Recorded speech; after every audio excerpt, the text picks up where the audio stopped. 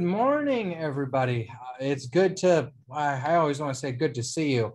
It's good to be here, and I hope it's good to see me. Um, I have not been in online service for uh, quite a few weeks now because of schedule and vacations in the summer, all those kinds of things, but it is good to be here and to worship with you today. Uh, welcome to St. Matthew, whether you're a long timer or you're checking us out, you're a guest. Uh, welcome to worship. I'm Pastor Michael Hanson, and I'll be leading us in worship today as we continue our journey through the story of Jonah. Um, but before we get into the rest of our worship, as always, we want to uh, just enjoy God's presence and call on Him to be here and for us to be aware of that presence. And so we begin our service in the name of the Father and of the Son and of the Holy Spirit.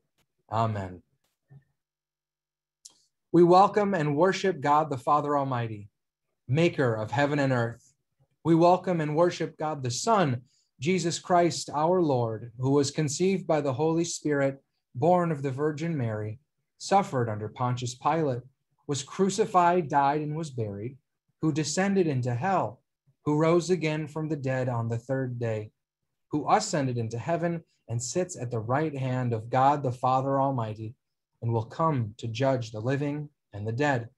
We welcome and worship God the Holy Spirit, who brought us into the holy Christian church, the communion of saints, who gives us the forgiveness of sins, the resurrection of the body, and the life everlasting. Amen.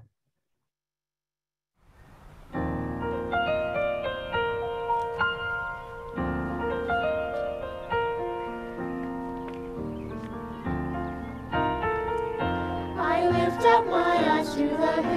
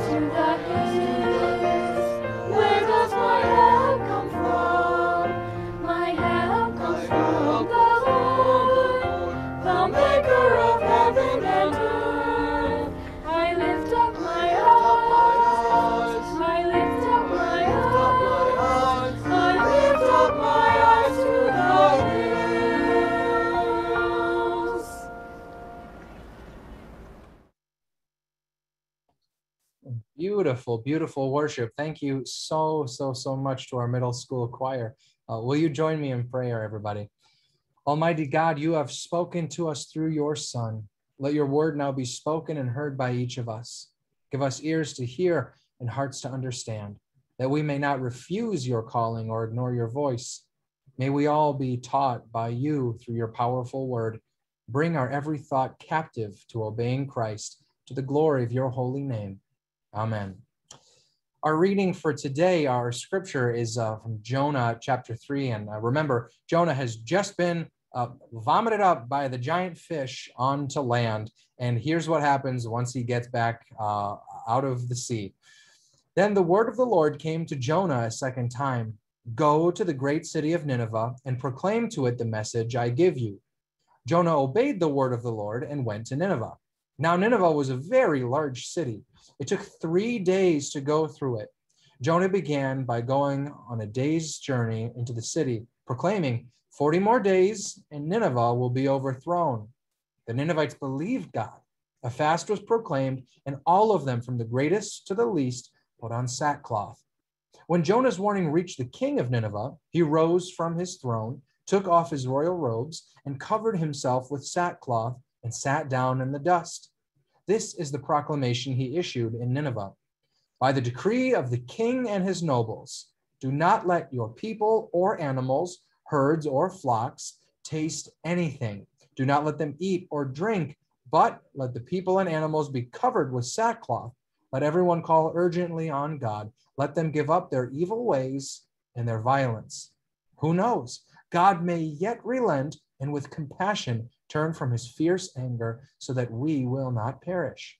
When God saw what they did and how they turned from their evil ways, he relented and did not bring them to destruction that he had threatened. That's our scripture for today. And for all of you kids, uh, come on into the room, uh, get in front of the screen because our friend Beth is going to share a children's message with us. And here she is. Good morning, Beth. Good morning, everybody. Hope you're having a great day today on this beautiful Sunday morning. I know that I will be having a good day. Anyway, I have a question for you. How many of you are perfect kids?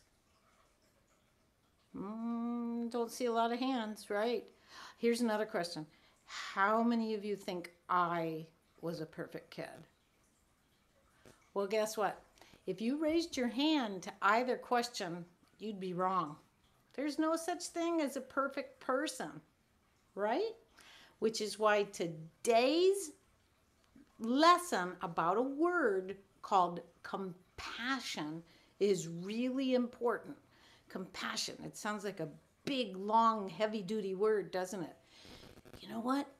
Compassion means to be kind hearted, to have mercy, to show forgiveness.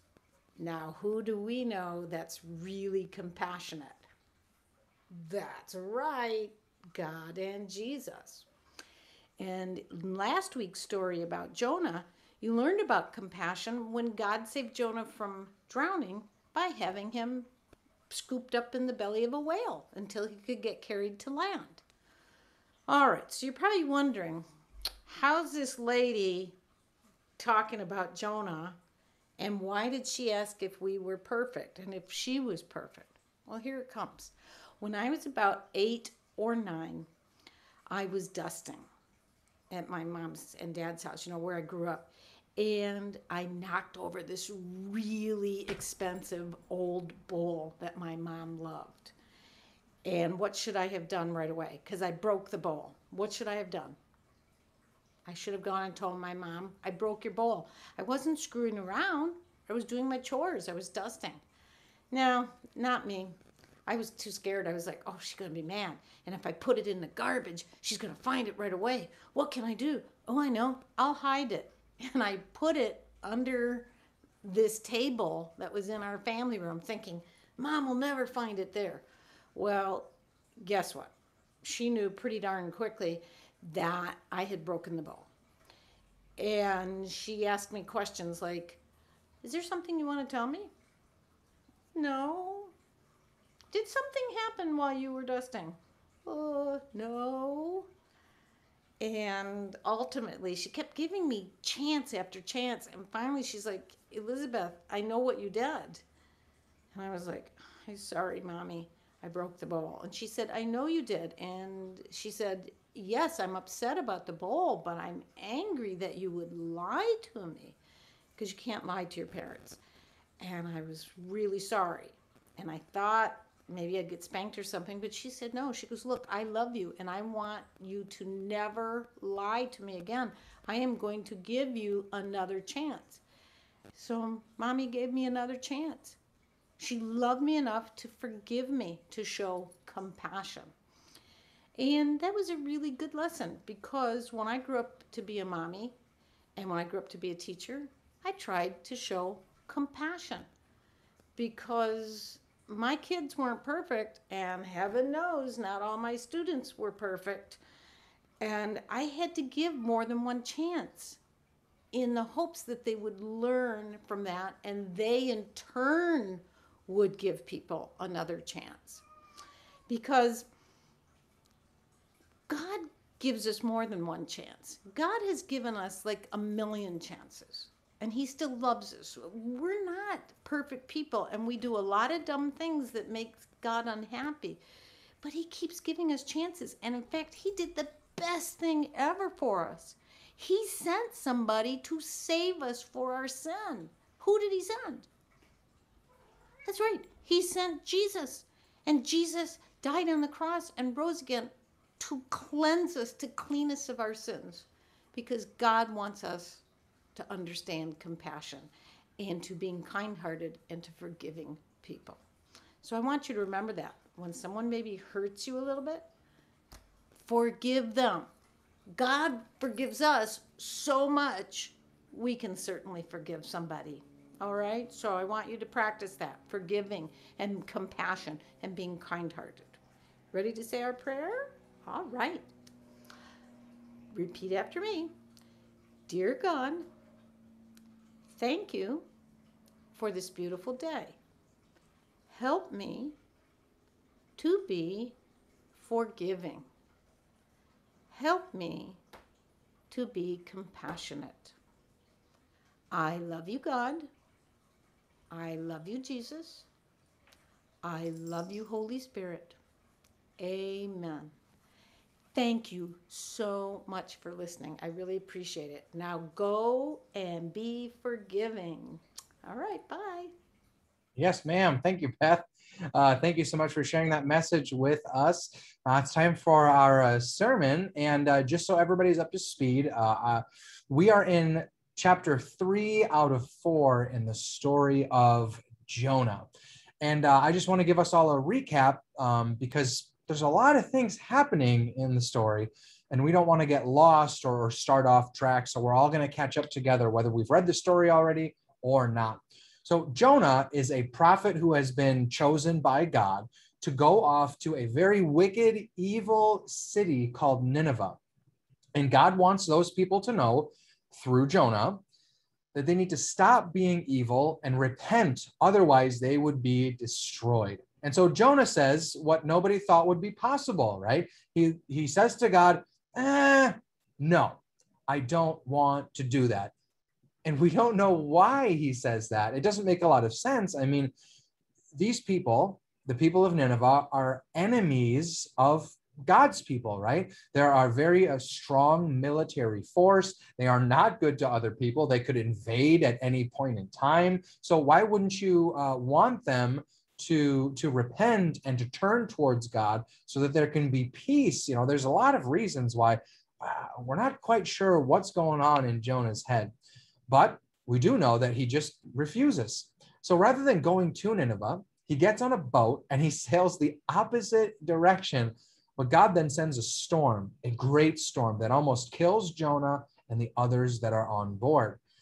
Now, everybody's freaking out on the boat, and Jonah says, Listen, uh, this is my God who's causing the storm. He's the God of the land and of the sea. He controls the wind and the waves. He's he's doing this because I'm not doing what he says. So I'll tell you what.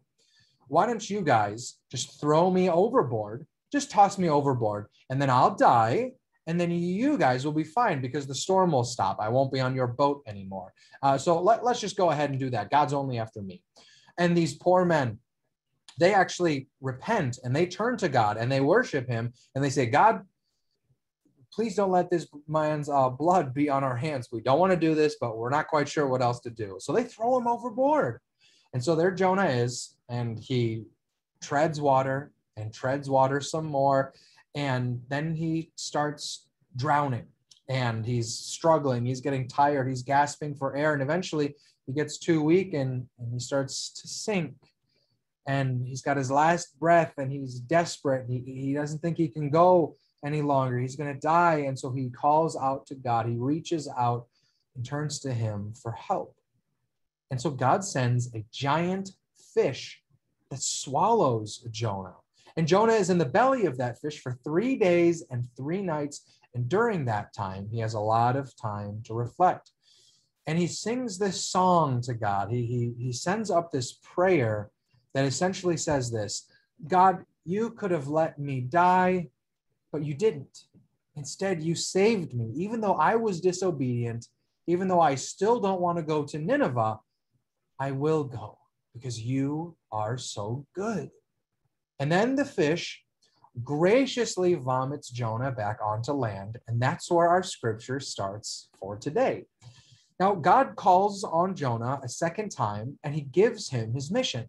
He says, Go to the great city of Nineveh and proclaim to it the message I give you. Now, if you remember or not, uh, notice that the call hasn't changed, the mission hasn't changed. God is saying the same thing to Jonah as he did in the beginning, but Jonah is different. He has realized that even though he disagrees with God, he still needs to follow God and trust him. And so at this time, Jonah obeys and he makes his way to Nineveh, that evil, wicked city. But it takes about a month or a month and a half of a journey to get from where he was spit out to Nineveh. And so in that time, Jonah has a little more time to reflect, right? He is not close to death anymore. He, you know, he's he's fine, he's safe. And so he's thinking, you know what? I know I agreed. I know I would go. You know, I said I would go to Nineveh. So now I have to do it, but I still don't want to. Ugh. So what he does is he goes to Nineveh and he preaches a sermon, but it is the shortest, probably laziest sermon that we could ever think of. It's a little underwhelming to say the least. Now imagine you came to church and I were to preach a sermon that was eight words long and then just leave. Now, some of you might be thinking, great, and we can leave early too. No, most of you would probably thinking, um, well, where's the rest of the sermon? Isn't he going to explain those things? Isn't he going to elaborate or help us understand what God is saying and, and how we can do these things and understand better? And well, of course you would. That would be what a reasonable person would be thinking for good reason. Preachers are supposed to put in more effort than that, aren't they? But because Jonah is so reluctant to do what God says, he does the bare minimum that he said he would. And we can tell by how short it is that the sermon is almost crafted to be ineffective. I think the only way jo- uh, Jonah's sermon could have been more careless is if he would have ended it with the words, or whatever, right? But despite Jonah's worst efforts, the people of Nineveh, the wicked, evil people, they repent. And the king himself issues a decree for everyone to repent. And so maybe you're not familiar with that word, but to repent means that we uh, we come to realize that the way that we've been living and the things that we've been doing have been against what God wants for us and from us. And we're sorry for it. And we turn to God and we ask Him to forgive us, right? But not only are we sorry, but we also want to turn away from our sin and say, God, you know what? I want to do it your way. I want to do it the right way. I want to do it the way that's best for me and for the people around me and that gives you glory and honor, right? So that's repentance. And these people repent. And the king issues this decree for everybody else in the kingdom, in the city, to repent as well. And in the ancient Middle East, they would repent and outwardly show it by dressing in what's called sackcloth. Now, it's quite you know obvious to some, but by the, the way that it's named, it's the cloth that's used to make like a sack, like an old scratchy potato sack that you would jump in in those potato sack hop races. It's scratchy, it's uncomfortable, and they would just, you know, cut two holes in them and put their arms through, and that's what they would wear. Um, and it's like a coarse burlap, right? And then they would cover their skin, their heads in ashes, and they would fast, meaning that they wouldn't eat or drink anything for a time. And they are showing God that they are sorry for mourning and that they're mourning their wickedness and they're depriving themselves in this way to, to really let God know. And that seems kind of a weird thing to do but it's it's not that strange and we still kind of do that in some ways right? You know when you're in real trouble right you'll have these gestures to make up for it. Maybe in in marriage or in a relationship you're in the doghouse right and that could be men or women. The doghouse is for everybody. Um, if you do something um, that that hurts your spouse your partner um, you're going to want to go that extra mile, right? Maybe a surprise date or a gift or, or something like that. Maybe you do all the chores. Or if at work you, you mess up or you're late all the time, you get a, a warning. Well, you're going to make sure that your work is going to be really good and thorough and maybe you hand it in early, those kinds of things. Or what if you're, you've had a bad day and your kids are arguing with you or someone else's kids and you find yourself just being really nasty to the kids and you realize and you go, oh man, well, we've all had those moments where all of a sudden we're, oh, let's all go get ice cream, right? Um, just to show how sorry we are and, and those things. So when we mess up and we're sorry, we want to show people that we are sorry. We want to outwardly show that. And so this part of ancient culture, although it seems weird, it really isn't that unrelatable. All right. So they do all of this. And here is the reason that they do it because maybe God will relent and with compassion turn from his fierce anger so that he will uh, not cause us to perish, right? Maybe this will actually work. And even the wicked Ninevites are aware or have at least heard of or are, are, becoming um, becoming more aware of God's compassion and his mercy towards those who repent and seek him. But this is all really, really strange, isn't it? And in fact, the deeper we get into the story, the more we begin to learn that all of the roles are reversed. Nobody in the story is doing what they are stereotypically supposed to do. Um, and in, um, in, in literature, the style of this story would be classified as a satire, right? Uh, everything is kind of flipped. Nothing is what you'd expect it to be. There's a great amount of irony in it. It's almost funny, isn't it? Uh, but it is goofy. Not only does God's own prophet reject God and go against him and disobey him and refuse to do his work, but you know, as the one person who really should be, but all of the people who should oppose God actually turn to him in faith and repent. You have the foreign sailors, right? The pagans who worshiped all of these different gods. Well, they turn to God and worship him and repent and pray to him. You've got the people of Nineveh who are like the wicked, most evil people that you could imagine at the time, and they repent. And just for like comedic effect, just the extra cherry on top, even the animals, even the cows, the sheep, the donkeys, uh, the oxen, they repent. They put on sackcloth. And so you got to be thinking, what is going on in this story? And so so they repent. Everybody who's not supposed to repent does it. And oh my goodness it actually works. Can you believe that? So maybe the god of israel actually is compassionate. Maybe he is really willing to turn from his anger and to relent so that we will not perish.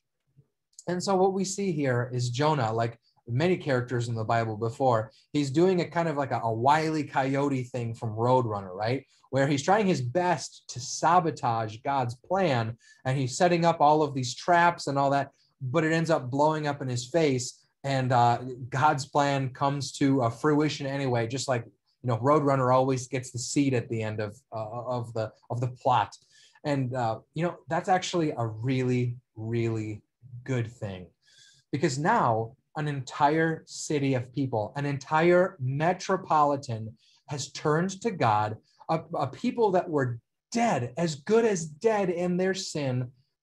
They are now repentant and they are spared, and God has given them life. And we got to think uh, imagine if you know you were to go to New York and you were like, hey, everybody, you got to repent or God's going to destroy all of you. And the whole city of New York saying nothing about New York, right? Or the people in there. It, just imagine the size of that metropolitan compared to these days, right? And everybody, every single person and animal repented. That's amazing news despite Jonah's best efforts. And so we've got to say, that's great, Jonah, you miserable, miserable guy. And now we don't know what Jonah's problem is yet. God hasn't revealed it to us yet uh, in this portion of the story. We don't know why he's so reluctant or why he's being such a pain. Actually, we will find out though next week. And that's going to put a whole new twist on this whole story and tell us the actual overarching meaning of everything. But for now, we don't need to know why Jonah is being such a mess yet because it's not important quite yet. We have so much uh, and, and quite enough to learn without knowing that yet, just by what God has showed us in this story. There are two things among many things that I'd like you to take away from this uh, part of the story today. The first one is uh, God's plan cannot be thwarted or stopped, right? Um, here it says in the scripture in Job, I know that you can do all things. No purpose of yours can be thwarted. And then in Isaiah, we read, For the Lord Almighty has purposed, uh, and who can thwart him? This hand is stretched out, uh, his hand is stretched out, and who can turn it back? And the answer is no one, nobody. And in this whole story, we've experienced that that's the truth. Whether it's Jonah saying no, whether it's him trying to run away, whether it's him and his low efforts, whatever Jonah has been trying, it's not effective in stopping what God has said would happen from the very beginning of the story. No one messes up the Almighty's plans. Now, we have many examples in scripture, but you can probably think of a few uh, instances in your life, whether it was you or somebody around you, right? Now, the devil thought that he could, uh, you know, trick mankind into crucifying the Savior and that, oh, it'll, it'll all work out and, oh, I'll get him. But how did that work out, right? Jesus is exalted. He's overcome death and, and everything totally backfired, right? Through the history of the church, persecutors thought that they could uh, stop God and his people by wiping them out. But how does that work out? And how does it work out still to this day, right? Not very well. God's kingdom is flourishing and has flourished since. Now, Jonah does the bare minimum to sabotage God's message, but how did that work out? And then finally, you and me, um, we are clumsy, we are sinful, we make mistakes all the time. Um, and even when we try our best, we still make mistakes, especially when we try to talk to others about Jesus or, or display the Christian life in, in the ways that we live. But how does that work out, right? God still works through us. And so, my point here is nobody, whether against God or for God, can mess with his plan. Okay. Now, that should teach us not to fear others as much, right? Nobody can stop God's plan. People are powerless, uh, powerless compared to God uh, once his will and his mind is made up. So we don't have to be as afraid, but also we can have more confidence in reaching out and spreading the message of the gospel because honestly, it doesn't get much worse than the people of Nineveh, and it doesn't get much worse than the prophet Jonah. And even if you're wrong about something, uh, God can still use that somehow. But the thing here is, we can't just sit on the sidelines being paralyzed about, oh, our enemy is going to beat us up. The other team is going to get us so bad or oh, what use am I going to be in the game? I'm probably just going to make a mistake and ruin it for everybody. No, no, no, no, no. We can't let fear sideline us. God is calling us to go, to preach, to live in a way that points to Him always. Don't be afraid. God's plan will come to fruition, right? And it's important for us to actually know what God's plan is. And so we should spell it out. God's plan, as we see here, is for the Gentiles, for the strangers, for the foreigners, for the sinners, for the worst of the worst, for those who are most unlike us as we can imagine, to turn to Him and to repent and to be saved by faith. And we see a glimpse of that here. This is just one example in the story. But knowing the whole scripture, we see that much more fully, don't we? when Jesus dies for the people of this world, you, me, Jews, and Gentiles alike, and the gospel is carried all over the world. God has mercy and compassion for all who repent. No one is too far gone. Not the sailors, not Jonah, not Nineveh, not you, not me, nor anybody else in our world right now. By faith and by the blood of Jesus, God has made a way for everyone to be saved. He desires for everyone to be saved. The second point that I want you to know um, first, right, God's plan cannot be thwarted. And the second one is that God is the one at work always. It becomes pretty apparent that Jonah is not the best prophet, right? Jonah did not have what it takes to bring people to God. From his shameful attitude to his lame sermon, Jonah doesn't get any credit here. Why would he? Neither did the evil, wicked, deplorable people of Nineveh have it in them to come to God and have faith and repent on their own. God is doing everything. And we find the same thing today, though, don't we? Us pastors, we have no strength, we have no special ability, we have no power of our own, but God uses us, broken and sinful people, as mouthpieces to preach his word. And as Christians, we don't come to faith on our own, nor is it by our own efforts or our own logic or reasoning that we can stay in the faith. But we believe that it's the Holy Spirit, the work of God, that gives and sustains our faith. Uh, and so in our catechism, the, the Luther Small Catechism, maybe you've received one at your confirmation, maybe you had one and don't, or you never got one, but if you're interested in one, please let me know, email or call. Uh, it's the basics of the Christian teachings and some questions and answers to help explain those. And here's what we read in the section of the Apostles' Creed where it says, I believe in the Holy Spirit. Well, Martin Luther says, What does this mean? And I want you to actually read this with me at home. Don't just hear me, but actually read it with me. Here we go. I believe that I cannot, by my own reason or strength, believe in Jesus Christ, my Lord, or come to him. But the Holy Spirit has called me by the gospel, enlightened me with his gifts, sanctified and kept me in the true faith. This is what we believe about the Holy Spirit and about faith that even our faith, even our repentance, even when we come to God, that's all God working in us. So today we find ourselves as children of a God whose plan to save the world is good and perfect and cannot be stopped. But we also find ourselves as servants of a God who has promised to do everything for us and through us by his power, not ours. Today's scripture is just one example of all of this, right? So let's turn to God in trust and in faith and join him in his mission and witness many more examples through us and in our lives as God works through us to bring the world to himself. This is God's word for the day. Amen. Now, having heard about repentance and turning towards God, we now have a chance to do it ourselves in a moment of confession. Uh, and this is, as I said before, us realizing and coming to terms, confronting the fact um, that we are sinful, that we haven't followed God perfectly. We've rebelled against Him, we've ignored Him, and it's led to all this hurt and destruction and pain.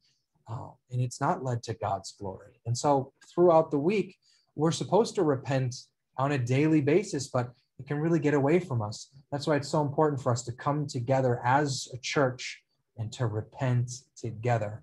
And so I'm going to lead us in a prayer of repentance, followed by a moment of silence where we can reflect and pray personally, individually to God, knowing what sins we've committed and ask for his help, and then followed by a word of forgiveness. So let's enter into that time of confession right now. O gracious God of peace, Father of mercy, God of all comfort, we confess before you the evil of our hearts. We acknowledge that we are too inclined toward anger, jealousy, and revenge, to ambition and pride, which often give rise to discord and bitter feelings between others and us. Too often we've thus uh, both offended and grieved you, O long suffering Father. Forgive us this sin and for, uh, permit us to partake of the blessing that you have promised the peacemakers who shall be called the children of God through Jesus Christ our Lord. Amen.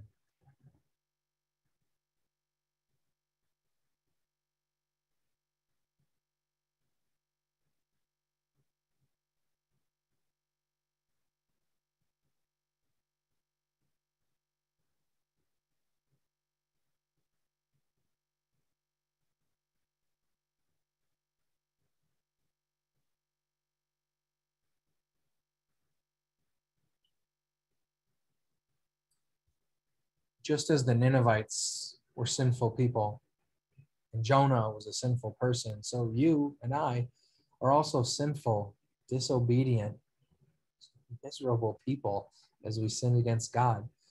But just like the Ninevites, just like Jonah, God pursues us.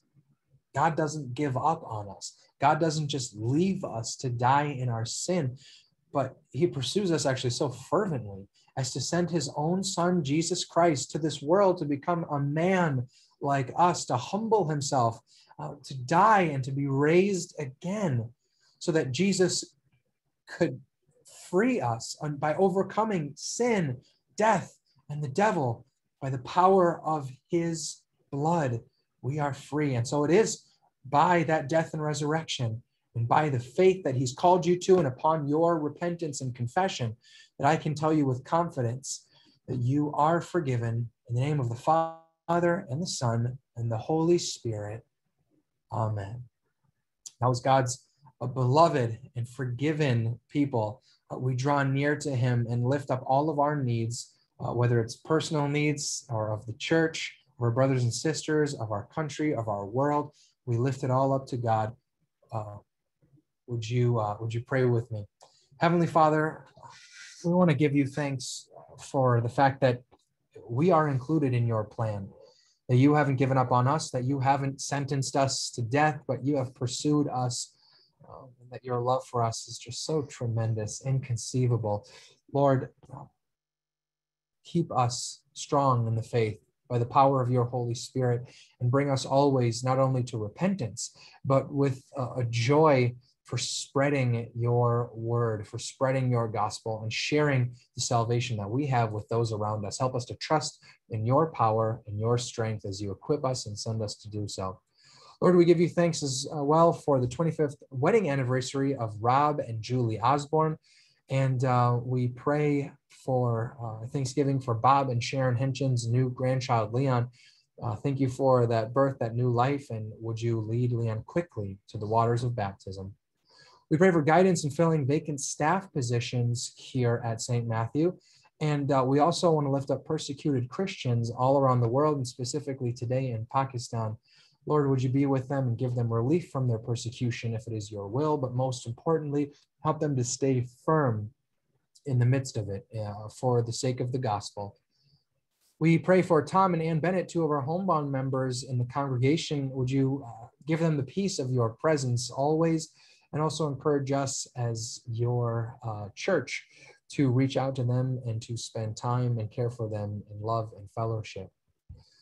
Lord, uh, we pray for our government. We lift up our leaders to make wise and righteous and just decisions. You have called them and you have appointed them. Now, Lord, work through them um, and let your will be done uh, as they uh, as they work in the positions that you've placed them in. Lord, we pray for those who are sick or hospitalized, those who are suffering currently, including Shelley and Paul and Mallory, for Nancy Greer, Braden Breeding, Joyce Shonchek and Andy Snook, for Denise and Howard, for the mother of Amy, and Lord, for all of those as well who currently have COVID or are experiencing uh, recovery uh, issues from COVID. Lord, heal them all in, in body and soul and uh, in mind uh, according to your will and in their suffering. Draw them close to you and trust and hope.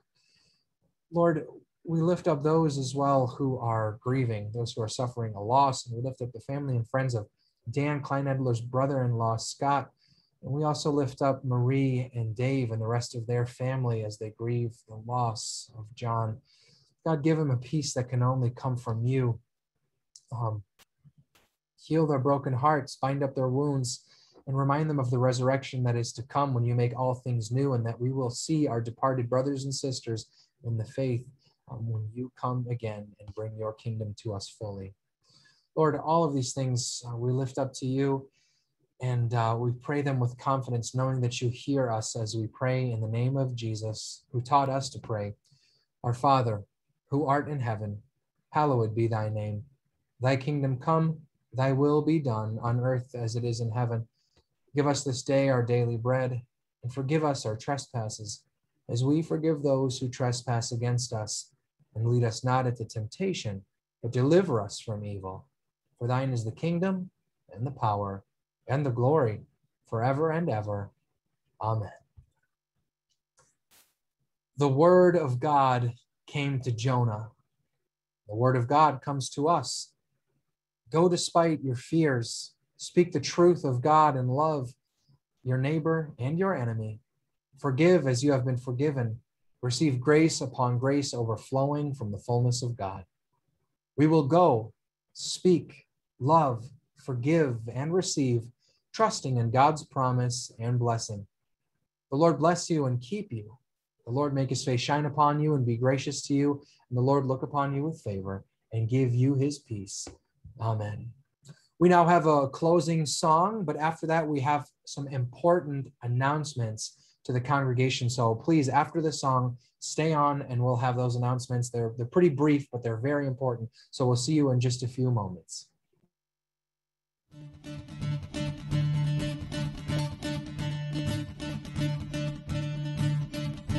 I was buried beneath my shame. Kind of weight? It was my tomb till I met you. I was breathing,